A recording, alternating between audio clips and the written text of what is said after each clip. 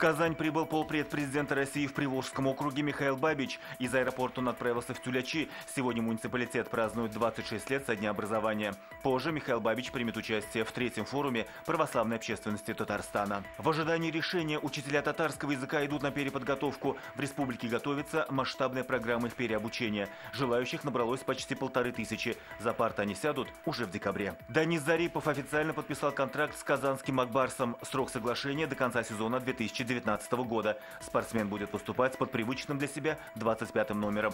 Полноценно к тренировкам нападающий приступит после прохождения медосмотра.